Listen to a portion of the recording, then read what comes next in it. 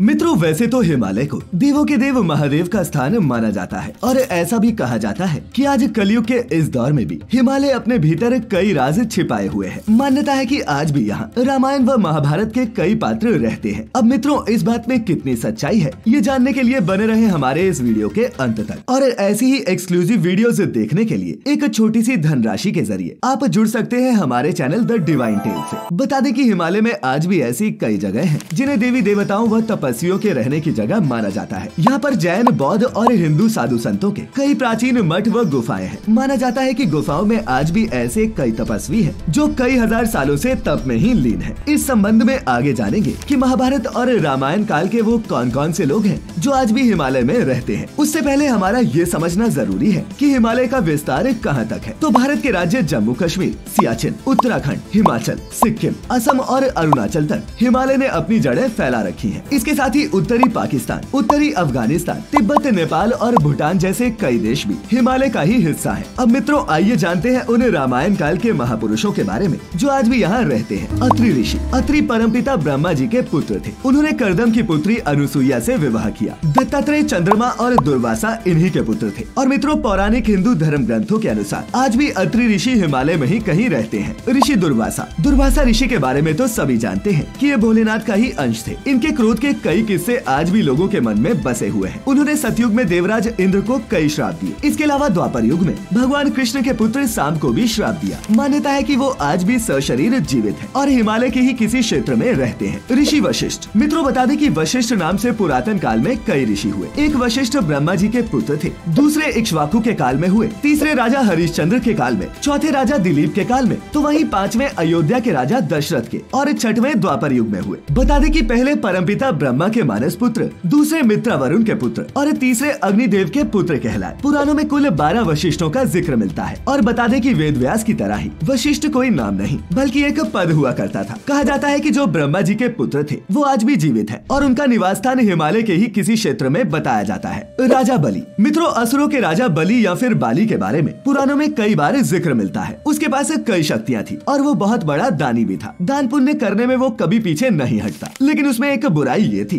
कि वो अपनी शक्तियों पर बहुत घमंड करता और स्वयं को परमात्मा के समान मानने लगा था। और तो और वो देवताओं का भी घोर विरोध करता, जिस कारण विष्णु जी ने कश्यप ऋषि के यहाँ वामन रूप में अवतार लिया और राजा बलि से दान में तीन पग धरती मांग ली। राजा बलि ने उसे सीधा साधा ब्राह्मण समझ कर तीन पग धरती दान देने का वचन दिया। तब वामन रूपी विष्णु जी ने अपना विराट रूप धारण करके दो पगों में ही तीनों लोग नाप लिए, जिसके बाद तीसरा पग बलि ने अपने सिर पर रखने को कहा। उससे हुआ ये कि वो सीधा पाताल लोक पहुँच गया और राजा बलि के इस दान से भगवान नारायण भी बहुत प्रसन्न हुए और उन्होंने उसे चिरंजीवी होने का वरदान दिया। कहा जाता है कि राजा बलि आज भी जीवित है और वो हिमालय की ही किसी गुफा में रहते हैं। जामवंत। गंधर्व माता और अग्निदेव के पुत्र जामवंत को ऋक्षपति भी कहा जाता है। उनका जन्म सतयुग में राजा बलि के काल में हुआ। जामवंत जी का वर्णन, सतयुग त्रेता युग और द्वापर तीनों में मिलता है। ऋषराज ने ही बजरंग बली को शक्तियों की याद दिलाई थी और भगवान लड्डू गोपाल की एक पत्नी, जामवंत जी की पुत्री थी। इनका नाम चिरंजीवियों में शामिल है और ये कलयुग के अंत तक जीवित रहेंगे। कहा जाता है कि हिमालय की किमपुरुष नामक एक स्थान पर ये आज भी निवास करते हैं। परशुराम। श्रीहरि के छठे अवतार परशुराम जी। कलिकाल के अंत तक सशरीर इस धरती पर रहेंगे। मान्यता है कि भगवान विष्णु के कलयुग में होने वाले कल की अवतार में परशुराम जी ही उन्हें वेद और शस्त्रों की शिक्षा देंगे। वह कल की भगवान को शिव जी की तपस्या करके उन्हें दिव्यास्त्र प्राप्त करने में भी सहायता करेंगे। मित्रों, भगवान परशुराम जी के बारे में कहा जाता है कि वो अभी भी हिमालय के महेंद्र पर्वत पर निवास करते हैं। मार्कंडेय। भोलेनाथ के परम भक्त ऋषि मार्कंडेय ने उनकी कठिन तपस्या की और उन्हें प्रसन्न किया था। उन्होंने ही महामृत्युंजय जाप को सिद्ध करके मृत्यु पर विजय प्राप्त की थी और वो हमेशा के लिए अमर हो गए। मित्रों, ऐसा कहा जाता है कि वो आज भी हिमालय की ही किसी गुफा में रहते हैं।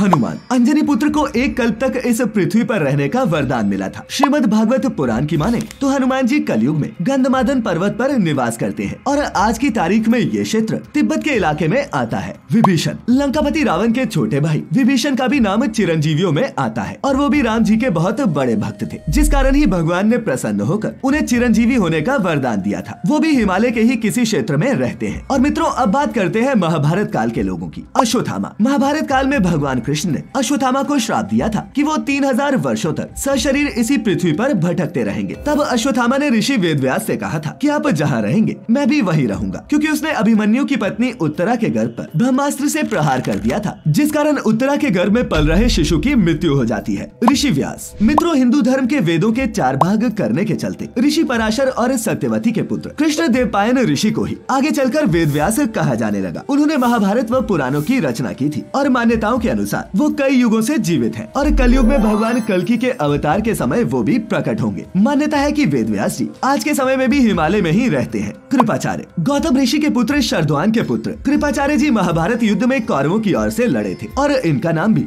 जीवित बचे हुए अठारह महायोद्धाओं में आता है। कृपाचार्य अश्वथामा के मामा और कौरवों के कुलगुरु थे और उन्हें भी चिरंजीवी रहने का वरदान प्राप्त था। यही कारण है कि कहा जाता है कि वो आज भी हिमालय की ही किसी गुफा में रहते हैं। अब मित्रों, इन सभी चिरंजीवियों के बारे में जानकर आपके मन में एक प्रश्न और उठ रहा होगा कि आखिर ये सभी लोग हिमालय में ही क्यों रहते हैं? तो बता दें कि हिमालय में प्रकृति के कई चमत्कार देखने को मिलते हैं। एक तरफ़ सुंदर और अद्भुत झीलें हैं तो दूसरी तरफ़ कई हज़ार फुट ऊँचे हिमखंड। कहते हैं कि यहाँ रहने वाले लोग कभी भी दमा टीबी, गठिया, कुष्ठ चर्म रोग आमवात अस्थि रोग और आँख से संबंधित बीमारियों से ग्रसित नहीं होते। प्राचीन काल में यहाँ देवताओं का निवास होता था और इसी कारण इसे देवात्मा हिमालय भी कहा जाता है। ऐसी मान्यता है कि कस्तूरी मृग जैसे रहस्यमय जीव और यति का निवास भी हिमालय में ही है, जो एक विशालकाय हिम मानव है, जो आज भी मानव जाति के लिए एक रहस्य ही बना हुआ है। तो मित्रों, आज हमने जाना कि कलयुग में कहाँ रहते हैं रामायण और महाभारत के ये पात्र। अगर आपको आज दी गई जानकारी पसंद आई हो तो इसे अपने मित्रों, रिश्तेदारों के साथ भी ज़रूर साझा करें। और ऐसी सभी आध्यात्मिक और धार्मिक वीडियो के लिए जुड़े रहे द डिवाइन टेल्स परिवार के साथ। तो मित्रों, फ़िलहाल आज के लिए बस इतना ही। अब इजाज़त दें। आपका बहुत बहुत शुक्रिया।